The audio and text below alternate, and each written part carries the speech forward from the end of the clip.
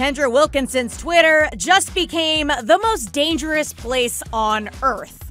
Turn it the f- up. Yeah, the bubbling feud between former Girls Next Door pals Kendra and Holly Madison has reached some new, explicit heights. Just a warning, it's about to get more graphic than your algebra class up in here, so cover your boss's eyes because these tweets are so not safe for the workplace.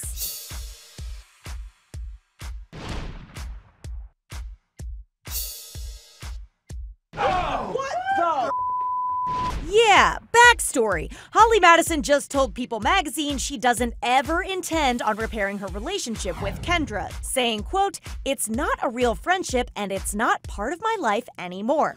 More backstory. Last year, Kendra slammed Holly on her reality show, saying the claims Holly made against Hugh Hefner in her memoir were false. What Holly is saying is extremely false. I'm like, where did this come from? Someone needs to have a voice against this. I mean, Yeah. Hef won't do it. He's too nice of a guy. And it's all resulted in these tweets. Yikes.